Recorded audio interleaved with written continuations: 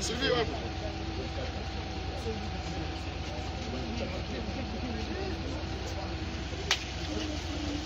Allez,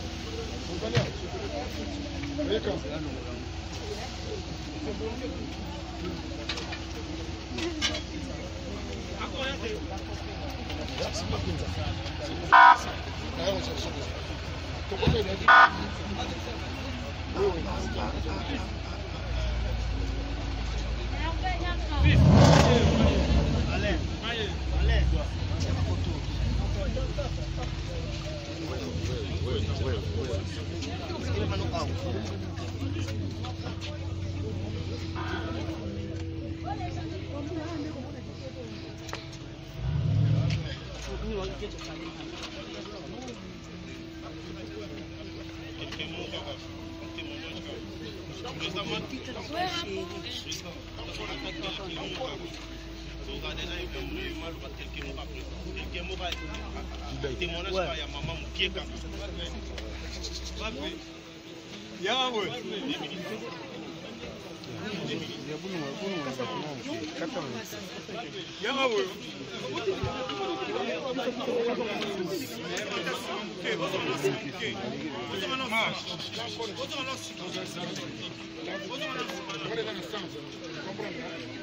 Sylvie wapi?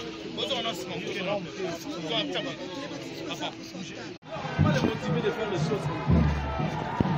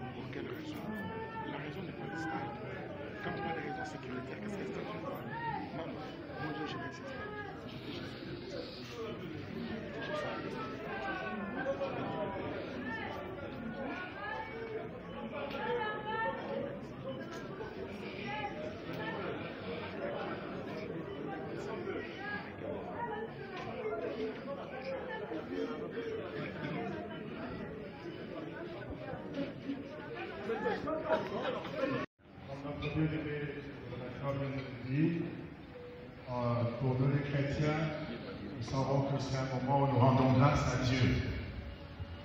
Pratiquement, pour dire, c'est un, culte d'action de grâce. Pour ce temps, nous allons le passer dans le Seigneur pour lui dire merci pour ce qu'il a fait.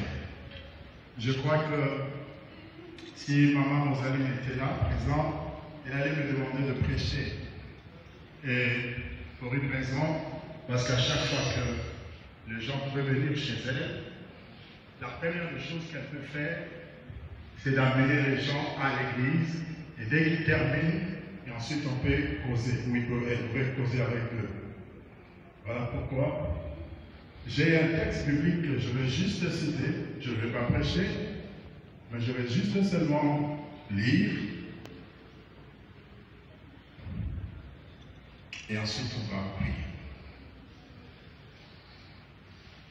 Nous sommes dans le livre des psaumes, chapitre 115, 116, verset 15. La Bible dit Elle a du prix aux yeux de l'Éternel la mort de ceux qui l'aiment. Ainsi dit la parole de Dieu. Père céleste, nous sommes là devant toi pour te dire merci.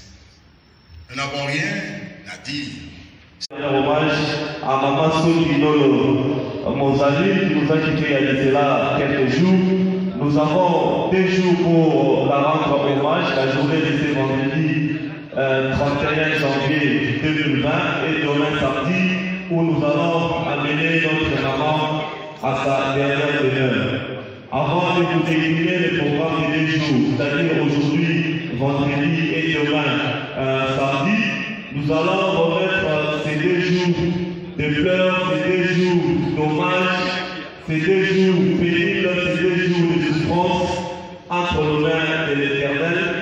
J'appelle l'homme de Dieu, le pasteur Léon David, pour nous conduire à la prière et après cela.